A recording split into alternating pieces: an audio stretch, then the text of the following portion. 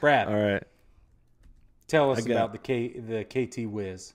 KT Wiz. I think I think that's a cool name to be honest with you. I don't know if it's short for wizard or just like smart people. I don't know, but Probably smart people, South Korea. You know. probably yeah. So, so the KT Wiz plays in Suwon, South Korea.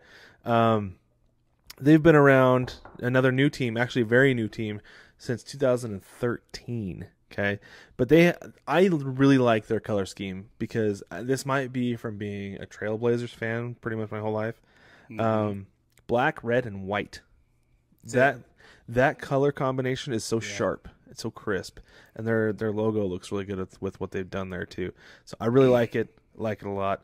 Uh, last year, the KT Wiz finished the season at 500, 71, 71, missing two games there, two ties. Oh, So two ties. two ties right now. Not off to a good start. One and three as of Saturday evening. Mm. So Ruh, see if ruh. the KT Wiz can turn it around, but I don't know. I don't know, man. I don't know, man. That's what I'm saying.